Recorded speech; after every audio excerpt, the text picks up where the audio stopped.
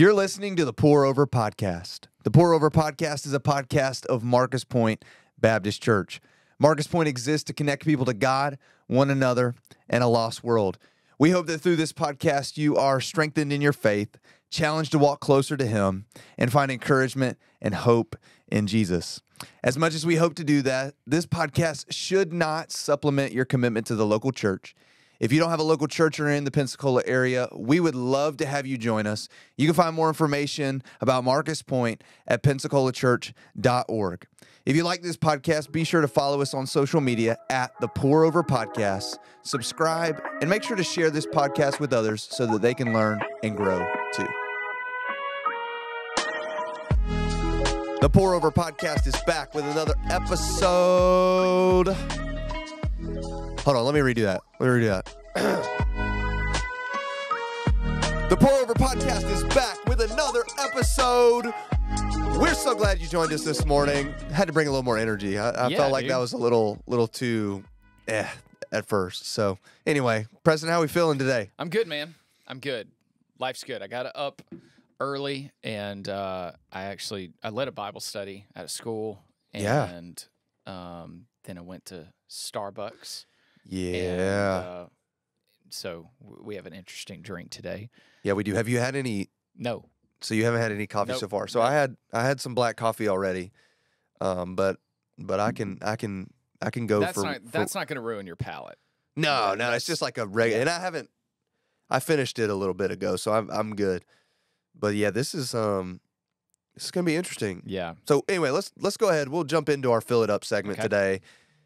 Oh come on, turn the oh I'm re- redo it. Hold on, Look, this is the day of redos. All we're just let, going to redo it again. here let's back it up. All right, so let's go ahead and go in our fill it up segment today. Yeah, yeah, with perfect timing. Yeah, there we go. Fill it up segment today. We have a coffee order. Yes. Jamie from Michigan.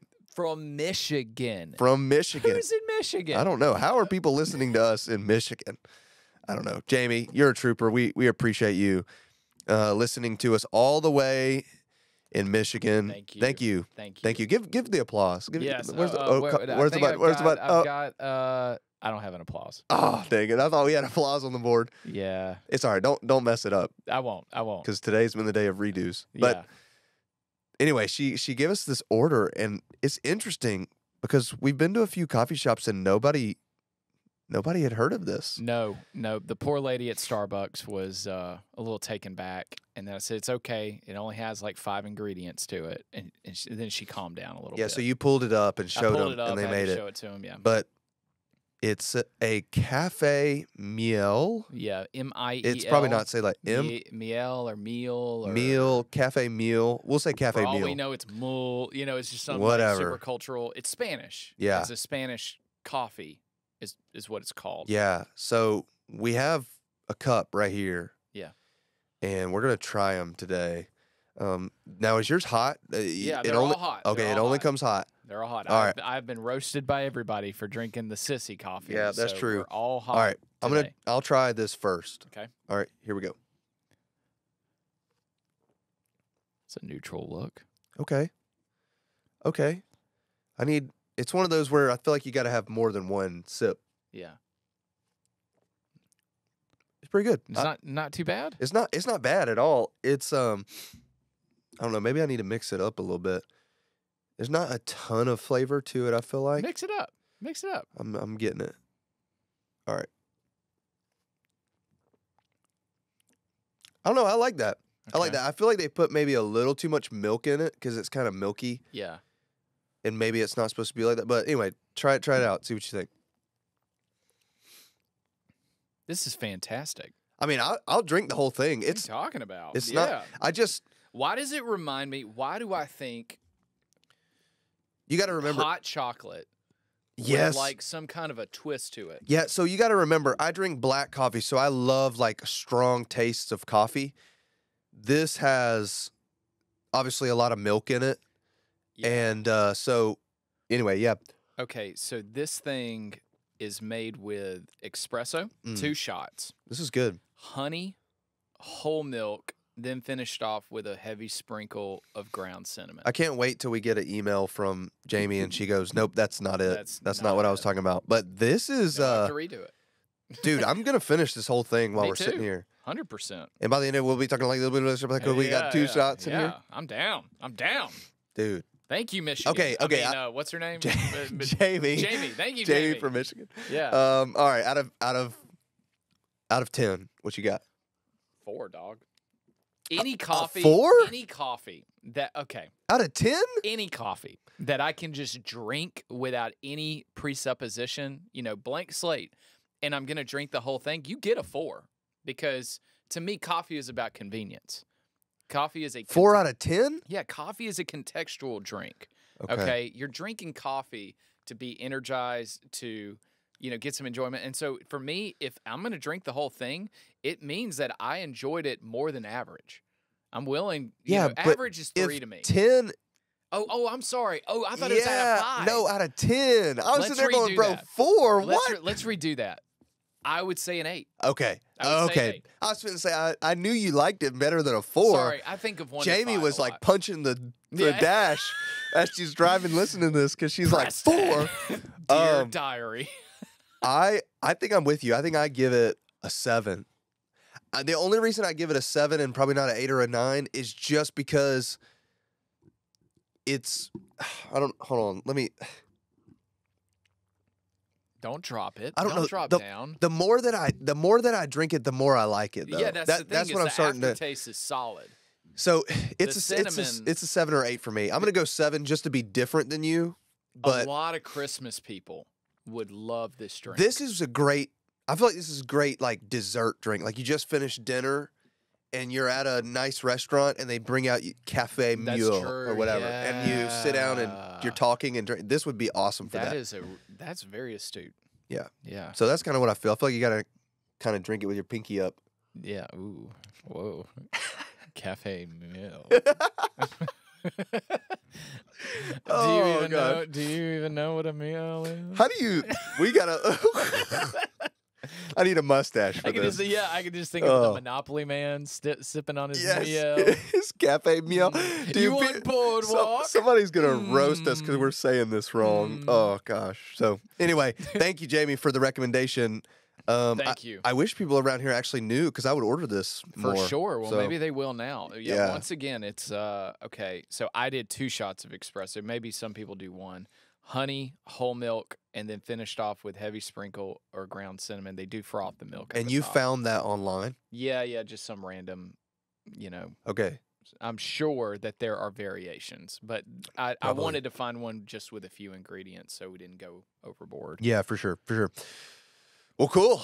Well, there you go. You have it, Cafe Mule, whatever. you know, Mule. we we uh, we we we like it. It's good. Thank you, Terry. Thank you. so anyway, with that being said, we'll go ahead into our drink it in segment. And literally this time in our drink it in segment, we will be drinking in our cafe mules. But it's uh, good, man. it is good. It is good. So if there's any pauses, it's me and Preston Yeah. drinking. But anyway, we've been over the past several weeks doing a series called Personalities of the Bible, and today we're actually finishing our series. And uh, we have um, basically been going through characters in the Bible Yeah. and talking about what their personality type would be based off of the um, Myers Briggs or Myers Briggs. What is it? Was it called again? I think it's Briggs. I think it's Briggs. Myers Briggs um, personality assessment. Basically, we've said this before, but if you want to know what your personality type is, you can go to 16personalities.com. It's the number 16 personalities.com. Preston and I have both taken it and uh, have have found our personality types through that. But basically, this I'm not going to go into all of it because I explain it every week, and I know people who've been listening they they understand. But it basically gives you four letters for your personality. You're either an E or an I, introverted, extroverted. You're either an S or an N, intuitive or sensing. Yeah. You're either an F or a oh dang Wait, what's that? F or a T because you're yeah, yeah, yeah, yeah, you're yeah. feeling, or thinking, thinking, yeah, yeah. and then you're either a P or a J, uh, perceiving or judging. If you want more information about what those mean, go to the first part of this series because we go in detail, kind of explain everything. Um, but over the past few weeks, we've been going through some characters, and today we're going to kind of end with. We just celebrated Easter not that long ago, and we fi- figured it'd probably be actually kind of cool to end talking about some of the disciples. And so today we're going to walk through. We're to walk through at least four of them. We may like find some other ones and like give you kind of what what they are, but we're to kind of walk through four of them. So anyway, Preston, before we get started, I I think it's interesting. What has been because I have some favorites through this, but what's been your favorite part about this series? Because I've I've really enjoyed. This is different. Like I don't think I've ever read or thought about anything like this before. Yeah, when you when you're studying the Bible, you know, I think a lot of Christians when they start out reading the Bible, you start reading out just kind of just reading for knowledge, you reading for wisdom, which is great. Um, not a bad way to read the Bible, but then as you grow in your faith, you start reading more in the context of things. But rarely do even mature Christians read in this context. Yeah, they're this reading on a personal level. Um, they're they're looking into the personality of the individual. Whether these you know things online are true at all, how could we know? But we can go by decisions and thought process and uh, gauge their personalities and see you know some of the pros and cons of all these personalities and how God interacted with them. Um, and so I I think I've just really enjoyed it because you know we we did King Saul. Yeah, Uh, and I like that one a lot. I'm always I'm always down studying on villains, but I, I love reading into their decisions and just their thought processes, and it, it just makes it makes the word come to life. yeah. I think a little bit Yeah. differently. I definitely think it makes some of the characters of the Bible feel a little more human. Yeah. Like sometimes I think, you know, you look at someone like the disciples or even, you know, Moses or Noah or, you know, all the people that we've gone through, and they, they just seem so superhuman because of the things that they've accomplished. And sometimes it's just kind of interesting to go look at them and go, well, they were human too. God used them in extraordinary ways, and He can do that through me too, you know. Um, but also, I think one of the cool things for me has been seeing who is similar to my personality types or my personality type because it's funny because it almost made me realize a little more of like who I am, if that makes sense. Like, Yeah. and and and the Bible almost kind of puts it in the context of, oh, these are how people who had my personality types were used by God. Like, Yeah. you know, and I know I'm different, I'm unique, and and I don't want to like read myself in the Bible. I'm not, I'm not trying to do any of that. I'm not saying any of that. But it, it also has kind of just helped me see like, oh, I do see how my personality is kind of similar to, you know, this person in the Bible, and oh yeah, I kind of see how God could use me in similar Yes. way. I don't know. So it's kind of it's been kind of refreshing to kind of see that aspect. Um, and I, I've just I don't know I've enjoyed this series. It's it's just something different. It's been fun. I've, I've had a lot of fun with it. So yeah. anyway, all right, let's let's go ahead and jump Let's in. jump in. Let's jump in today. So, um, the personalities we're going to look at today. Um, we're going to start off with Matthew the apostle. We're going to do John the apostle. We're going to do Simon Peter, of course, and then we're going to end our villain of the day. Can you guess it? It's Judas. It's Judas. It's Judas. got to. So let's start off with uh, Matthew. Yeah. All right. Matthew, it says, is an INFJ. So introverted, intuitive, feeling, judging. Judging. So the, these are known as introspective, compassionate, creative individuals who have a strong sense of empathy and desire to help others. Mm. So that is what he's described as INFJ. Don't you have um do you have that pulled up or Yes. you, yeah. you mentioned that that Yeah, section in scripture? Yeah, his call in uh, in Matt, in Luke chapter five, it says that after he went out and noticed a tax collector, this is Jesus, noticed a tax collector named Levi sitting in the tax book. Levi, Matthew, interchangeable there. Uh, he said to them, or said to him, "Follow me." And he left everything behind and got up and began to follow him. And Levi gave a big reception for him in his house, and there was a great crowd of tax collectors and other people who were reclining at the table with them. yeah. Very cool. Yeah, that is cool. That we had a conversation about this off Yeah. off the podcast that I want I'm going to bring it up now, but it says he's an I, Yeah. Yeah. Introverted. This is a tough one. And I, you read that, you know, story or, or that account, if you will, and he throws this big reception. That doesn't Yeah, sound like an introvert to me. But Jacob, we have done this is our fourth week yeah, doing this. yeah, All right, so here's the big question that I've been thinking about in the back back background, and we Yep. did not talk about this beforehand, so this is live. Does person can personalities change after salvation? mm, woo. That's a good question. Because you see here, okay, they're saying INFJ. I it was INFJ, right? Yeah, and yeah, I'm yeah. not totally against that theory. yeah, However, how does an INFJ immediately throw a huge reception and party? But he does it right after he's called. So it says in that description that INFJs are very compassionate, willing to help others and stuff. Was it possible that God or that Christ was beginning a new purpose in his Yeah. life after following him, and that may have involved more of an extroverted yeah, tendency? yeah. Here, here's what I think. Um, do this is my initial thought. So this has like, this is me thinking out loud here. So, Yeah, yeah. so when I say this, like, I'm don't take it as gospel, but That's what I do all day. This is my initial know. thought. My initial thought is do personalities change? It depends how you define personalities. Okay. But the way that I would define personalities, I would say probably not. But when you're saved, what does faith require you to do? Well, it requires you to step out of your comfort zone. So, in other words, what does it require you to do? It requires you to step outside of your personality a little Mhm. bit.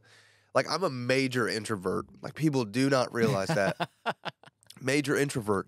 But part of what God's called me to requires me to be extroverted at times. Yeah, yeah, So has my personality changed? No. yeah. I'm still introverted, but I am required if I want to follow God to step out of my comfort zone to do things. So introverts, I feel like inevitably are going to have to be extroverted to follow God at some point. Yes. So does that mean their personality changes? That's where it depends how you define. Because I think there's your ideal personality, like Yeah. what you would be with like no external factors. But then there's an adjusted personality, like what you have to be at work or what you have to be in certain environments. You know, like my job requires me to be extroverted to an extent. So Mhm. there's an adjustment that happens in my personality. Um, but that doesn't mean necessarily my my personality changes. It just means I have to function outside of my personality some. I, I don't know. I don't know. That's a great question. Yeah. Because then you e- even with the way I'm talking, you can go in circles because it just depends. It just depends how you define certain things. I don't know. I, you know, all these personality tests, you can take them over and over again. Sometimes you're going to get different results. I remember the first one that I ever took back in college was nothing to do with an actual personality. It was a Harry Potter house quiz. And Oh, uh, I- all of yeah. my buddies were watching the movies. And don't burn me at the stake now, okay? When I talk about Harry Heathen. Yeah, you know, but I'm going to see pitchforks going home. But I remember taking it and I got the Hufflepuff, you know, which Yeah. is like the extroverted, lovey dovey kind Yeah, of yeah, house in the movie. But you know, I took it like three more times just out of kicks. And I got Hufflepuff two more times, but then I got Slytherin, right? The ones that Mm, that's probably what that's probably what I would get. that's probably what I would get. if we're being honest, I'm sitting there thinking, I'm like, ooh, yeah, that would probably be me.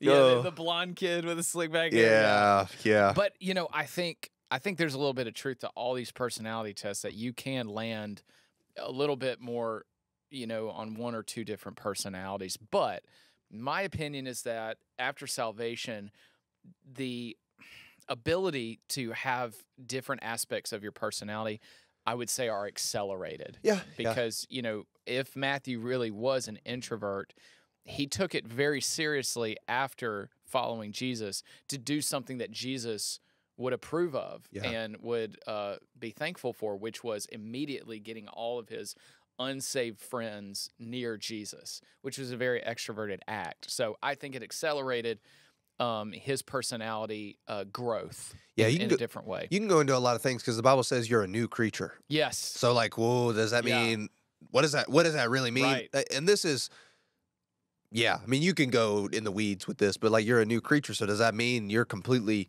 new? Like you have a fresh personnel? Like you know, I mean, I, yeah. I'm I'm not going to get into that because we Yeah, could yeah. we could we could get there. Sorry, you know, we sorry, could go I- there, but but I'm saying like, um, I think the work of the Holy Spirit in our lives can definitely cause us to do things that we would never maybe normally do too.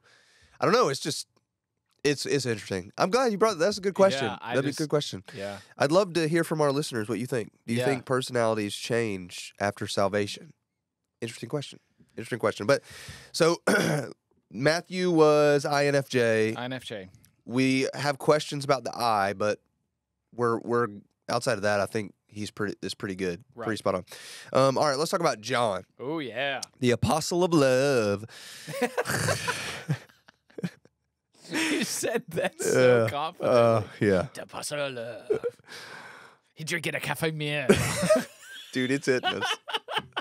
it is hitting us. I'm almost done. I know we're both talking fast. People are like, "Did I accidentally turn this on like two times?" The uh, anyway. Nah, the speed. Um, John, it has as also an INFJ. Um, so it says John's known for his strong intuitive abilities, frequently receiving divine revelations and visions, as well as his ability to understand and empathize with others. Mm. He is often described as being introspective and private, exhibiting many traits associated with the introverted personality type. He has strong sense of empathy, emotional intelligence, often shows concern and care for those around him, and is known in kindness and compassion. So, I don't know.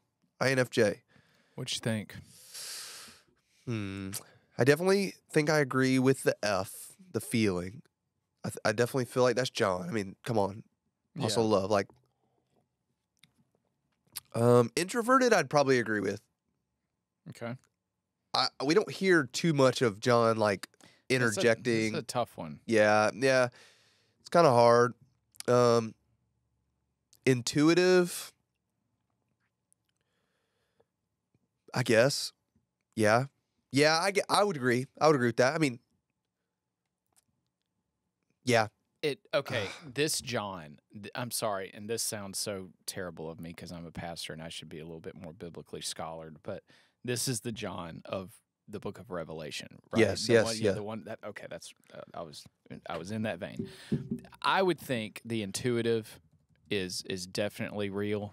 I mean, for someone to receive those apocalyptic level visions and to write them down, um, I think when you read Revelation, right, and I am no expert on eschatology or end times or any of that stuff, but when you read the book of Revelation, there is a lot of emotional language within it. And I believe that we see a little bit of that in the book of Revelation. Because, for example, when he's talking about the seven churches in modern day Turkey, um, especially Laodicea, he is reverberating, I think, very emotionally what God is speaking through him about how, you know, lukewarm they are and how God is going to spit them out of their mouth. And he's kind of going church by church and he's talking, but it's also not simply because he's just, you know, parroting what God's telling him in the word. He's he's kind of feeling it, you know, like he's he's he's really emphasizing because he see he's an eyewitness account of how all these churches are doing. You know, that's that's that- I guess that's where I would see him a little bit more on the emotional side. Um, Yeah. I don't know. Yeah, no, I, I, I would agree. Um, sorry, I'm trying to look up. So some people don't believe, because I, I got to thinking, I was like, I think there's a little bit of contra. Yeah, some Is there people- some controversy over the John thing? Yeah. Okay. Okay. Yeah. I I believe it was John, but some people say it's not. Some, I was some like. I was trying to remember. I was like, yeah, I'm pretty sure it's the Apostle John. Sorry, I was over here looking it up. no, it's okay. Um, yeah, David Guzik, I use him a lot. It says the best evidence points to this being the Apostle John, but some people believe it was a different John. Different John. I, I'm under the belief that it it was the Apostle John, but anyway, that that was interesting. You threw because when you said that, I was like, I'm pretty. Yeah, you know, like when somebody asks you a question and you know the answer, but then it makes you like, you're like, wait a second. yeah, yeah, I was yeah. like, that was me for a second. yeah. Um, so yeah, But to read that passage, and it's in Revelation 3, starting in uh, 15. and a lot of us have heard this passage before, but it says, I know your deeds, that you're neither cold nor hot. I wish that you were cold or hot. So because you are lukewarm and neither hot nor cold, I will spit you out of my mouth. Because you say, I am rich and have become wealthy and have need of nothing, and you do not know that you are wretched and miserable and poor and blind and naked. This is very emotional language here. Now, Yeah. of course, it's God speaking through John, but I don't think that God intends to remove. Uh, yeah, personality the wasn't I- removed. Yeah. yeah, personality and personal experience wasn't removed from their ability to convey this language. I mean, they are authors. That, uh, uh, you know, Yeah, they didn't become the- robots when they were writing. I mean, they wrote what God wanted them to write. They were inspired, but it wasn't like they were. They went in.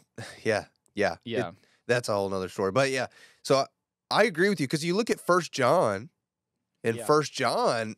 I mean, you can tell he's emotional, Mm, but also he's like incredibly straight to the point, like just cut and dry. What what does he say? He's like, if you don't follow his commandment, or if you don't love God, or if you don't have love, you don't know God. Like, I mean, he's just so cut and dry. yeah. If we say that we have fellowship with Him and yet walk in the darkness, we lie and do not practice the truth. That's mean, one six. He's Yeah. just you can just see his heart.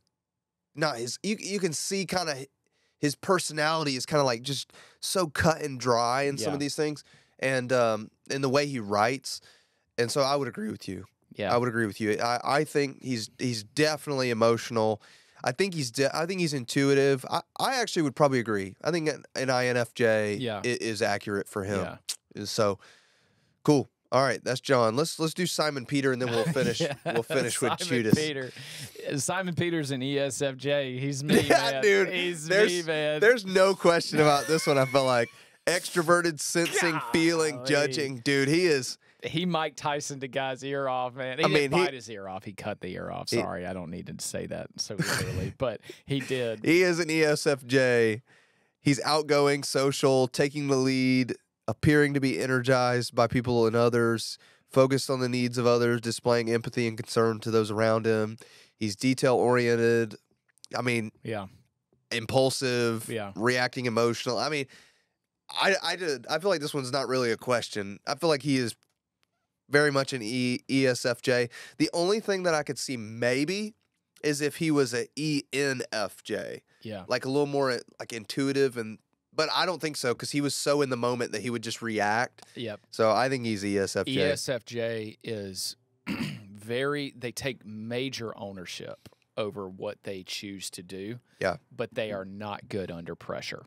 And you can tell because he's the one who denied Jesus three times before the rooster crowed. Jesus prophesied that he would do that. He kept saying, I'm not going to do that. I'm not going to do that. Yeah. But then he did not realize that that was going to come from other people putting pressure on him and saying, Hey, you're the one that was with Jesus. Mm. And he so quickly denied him three times because he wasn't. And that, I just feel this one so much because I'm ESFJ and I suck under pressure. Yeah. Like I am the worst. And so, um, yeah, very real, spot on. Yeah. I feel like that one's pretty good. I, I feel like that. I had to go back. I always forget which one I am. I'm an ISTJ. Yeah. So anyway, but I think that one's pretty simple. I don't know what more we could say about that. ESFJ. I think he's a cut and dry ESFJ. Yeah. All right, let's go to Judas. Yeah. Let's go to Judas. Judas is actually Oh.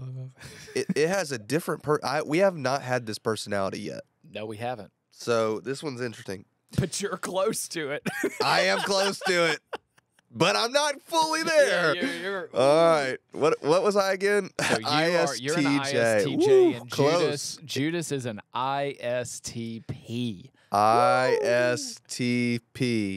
He is introverted, sensing, thinking, and uh, perceiving. They're typically the first to attempt new things, always ready for a challenge, live on excitement and adventure, Yep. constantly seeking new ways to push the envelope. They Mm. create opportunities and do tasks accurately and on time. They like the experience of learning um, by doing dirty labor because it broadens their viewpoint and understanding of life. They like troubleshooting their own issues to see what works best. Nothing beats the rush of firsthand experiences that season them with growth and maturity. Yeah. Um, they care deeply about principles and independence. Mm. They are realistic, realists, and a strong sense of justice and equality, which is interesting for Judas. To distinguish out the herd, they keep their lives private yet spontaneous. It's impossible to predict their next move because they like living in both excitement and mystery. Let's talk about that for a second. Okay, ISTP. Yeah, I have a feeling that if you went on this website and looked up other ISTPs, we're going to find several celebrities. Okay. We're going to find several major inventors and people who made big waves in society because that's precisely what you just described and what Judas did. Now, Judas, villain among villains, okay? You know, I mean, if you look up, there's a fictional uh, book, Dante's Inferno, if you've ever heard it, by Dante Gal- uh, uh, Alighieri. It talks about all these, you know, this huge story, but basically, it talks about hell mostly. And at the very bottom of hell are two people Satan and Judas. So, two individuals who have major, major historical significance. That book, you know, to a lot of people, almost equalized the fame between Satan and Judas by the level of betrayal that they committed. One was against God the Father, the other was against God the Son.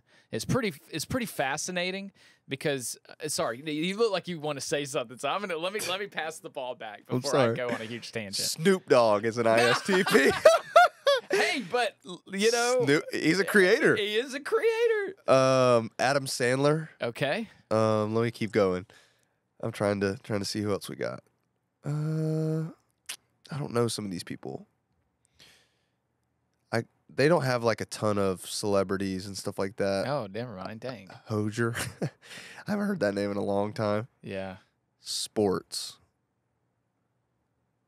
Yeah, they don't have they don't have a ton of people. I guess the only guess celebrities they have in here is if they've if they've actually done it or Yeah. something. So yeah. But you know, I mean, Adam Dogg. Oh, Sandler. Oh, Messi. They have Oh, Lionel Messi, really? interesting. I mean, Anyway. Adam Sandler is worth like half a billion dollars. I if- mean, he's way up there. Let's see what fictional characters. Let's Hmm. see movies. Jason Bourne.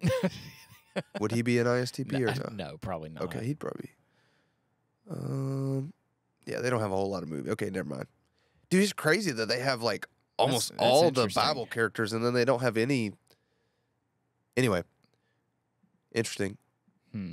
All right, but go back to what you were saying. I'm sorry. No, I just no, I just, I mean, I just think there's a lot of creators and a lot of pioneers to things that that carry that personality type. I mean, in Matthew 26, it uh, starting in verse 14, this is the beginning of Judas's bargain. It says, "Then one of the twelve, named Judas Iscariot, went to the chief priest and said." What are you willing to give me to betray him to you? And they weighed out 30 pieces of silver to him. I don't think the money was anything to do with it. I, I think it was uh, Judas was clearly not truly a disciple. Judas was in that circle to, you know, to be involved with something great. And then when he ended it all, he did something even more groundbreaking. He, as a disciple, air quotes, disciple of Jesus, went to the chief priest directly, and they probably were shocked that one of the disciples came up to him because they had friends that were that had it out for Jesus, but they most certainly didn't have one in his direct circle. yeah. And to have Judas do that had to have been I think the way Wow. that they have you have you seen the Chosen at all? mm-mm, no. So- I've been meaning to, but the way that Yeah. they depict the way that they depict him in the chosen like this makes a ton of sense. Really? like they they depict him like an istp because for him it's just always about the next venture. It's always about what's new and exciting and what's next. Yeah. and so i think for him i think this makes sense. And i don't know that was just kind of what brought brought to my mind was the chosen because immediately i was like yeah that's how they depict him. Like he's just this quiet guy but he's just mesmerized by the new yeah, the exciting what's what's what's popular now he's following the trend. yeah. Yeah. and so yeah anyway i i definitely think that this is this is a good one. Yeah. this is a good one. Close to mine but i'm judging instead of yeah, instead of perceiving interesting. So anyway it's wild. that's man. all of them today. I want to. Yeah. I want to. Let me see if I can find any other before we go. If I can find any other um any other of the disciples. Um I saw a few more. What about Down Thomas? Yeah, Thomas is on here. I just got to get to him. Oh, there's Luke. Okay. Let's see what Luke was. Luke is an INFJ, it says. Okay. Come on. Um I didn't have these pulled up, so Doo, doo, doo, doo. Philip. Philip? Let's see what we got for Philip. Philip was an INFP. Okay. That's a different one. I don't think we've uh I don't think we've had an INFP Hmm. yet. Let me just find one more. Let me find Doubting Thomas and we'll we'll end with that. Yeah. We never did. Did did we do Satan? No. We said we weren't going to do Satan or not gonna- Jesus. that's right. Yeah. Man, of course now I can't find him. Man, That's okay. it's putting doubt in me. Sorry.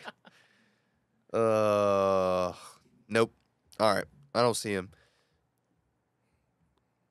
Yeah. They're just not um, sure. That's all. They're just Yeah, not sure. They're in alphabetical order, but I don't know if it has Yeah. I don't see oh, there's That's okay. there's T. There's T. Nope. Okay. Anyway, I can't find it. But anyway, that's that's the the disciples right there. There's a there's a few of them. We didn't get through all of them, but we got through I think 6 of them right Yeah. there. So anyway, that does it for our personalities of the Bible. Does it? we're finished. We'll be moving on to something else next week. So thank you guys for being a part of this. If you have, I mean, if you have any questions or if there's someone that we didn't mention that you would like to know, like what we, you know, what we have for them, um, you can shoot us an email. Yeah. Pourover at marcuspointebaptist.org. Shoot us an email. Let us know. Hey, I'd really like to, you know, know. I'm probably gonna What get an Satan email. is Hey, or- I, I I'm a Slytherin. Uh, what is that? yeah. yeah. Yeah. We're Um, not gonna do that. But if there's anybody you'd like to know, you can email us. Or if you have a coffee order, um, just make sure it's good as this coffee Yeah, cafe meal. Um, mm. Thank you, Jamie from Michigan. Yeah, This Jamie from Michigan. This was nice. if we had an applause button, you would be getting the applause yeah, button. I I got rid So make it. sure make sure email it in. Make sure to follow us on social media. The Pourover Podcast got some awesome content that's getting ready to get released now. Yeah. So anyway, make sure you check it out. But that does it for our Drink It In segment today. And that leads us to our Pour It Out segment. And we don't really have anything to pour out today because we finished these cafe meals. Bro, yeah. Yeah, I, I'm already crashing a little bit. Are you really? Off the coffee. yeah. That's great. That's great. All right. You want to go first, Preston, this week? I, I think I went first last yeah, week. yeah, yeah. I Sure. think. Let's let's yeah, do yeah. it. Why, why not? Why yeah, not? All, right. All right, Ready? Three, two, one, go. Uh, Man- Back oh, up. Back up. oh, I, I, oh, mess, I oh, messed that oh, up. Today's the day of do overs. t- yep. Yeah, let's let's try that again. Let's All do right. it. Three, two, one. Pour it out.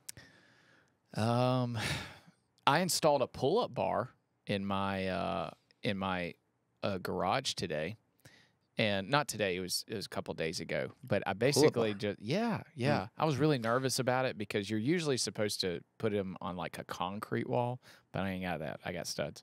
And so my studs, by the way, are like 22 inches apart. They're super far apart, which was frustrating. But man, I just got like two by 12s and just drilled it into the studs and then put the pull up bar into the wood on that on this two by 12s.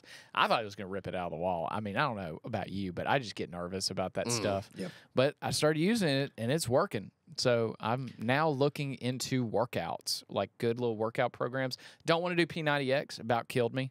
Um, and it just takes so much time. So if you got a suggestion out there, a good 30, 45 minute solid workout, I've got minimum equipment, Bowflex weights, you know, pull up bar, stuff like that. Let me know. Let me Yeah. know. That's good. Cool. Yeah, a lot of. I, I think people underestimate how much you can do with just body weight. For sure. I mean, that's what people are always act like they got to have a ton of equipment, and it's like no, you don't. You don't really just just be active and but I anyway. am pro home gym for Oh, sure. Oh, dude, definitely. sure. Kenzie keeps sending me. She sent me something on two things on Facebook Marketplace, and it was like full home gyms, and I, she I can get you hooked up. she wants to get one. I want to get one eventually, yeah. but Honestly, they're just expensive. honestly, Facebook Market, you can find all kinds of people throwing away She their found- workout equipment. She found one. So what we want is we had some friends that have one, and you can drill. It. It's a rack, like a, a oh rack, yeah, you know, yeah. but you drill it into a wall and it folds in. Oh yeah. Oh yeah. This is a Shark Tank thing. That's what we want because we don't want something. We've had gym equipment in our garage before, but when you're trying to park your car in Yeah, there and you have to like pull it out, it just yeah. we'd rather just unfold it or whatever. Well, we have the mats. We bought the two Ugh. by two by two mats, um, the little checkerboards, that, and it fills up half our garage. So I can fit Lexi's car. It's tight, but um, I ain't fitting two cars in my garage anymore. You know, but it's to me it's worth it because I like working out on those those nice foam mats. yeah. Oh yeah. Well, when you're in the garage, man, oh, it, man, it'll yeah. kill your knees It if you're will. on anything. it So will. Anyway, Okay, yeah. all right. Are you ready? Yep. All right, three, two, one, pour it out. Big shout out to my dad. My dad came in town. My mom and dad came in town for Easter. And uh, we had an area in our backyard where the dogs had used the bathroom and it just killed the grass. Yeah. Like just killed it. Well, uh, my dad came into town and my dad always, like, whenever he comes, he's always like, What do you need help with? Like, what can I do? And so he's always wanting to do some projects and help out. I've really enjoyed getting to do stuff with him, but um, he helped put us put sod down. Like, got got helped get us get some sod and put some sod down in our backyard. So our backyard now has like no big dead spot anymore. So, but now I just have to keep spraying down where they go to the bathroom, try and keep it away. Yeah. I know some people give them like uh, dog treats or whatever that Mm. are supposed to help, you know, regulate so that they don't kill the grass or whatever. But we're trying to figure out what to do there. But yeah, big shout out to my dad.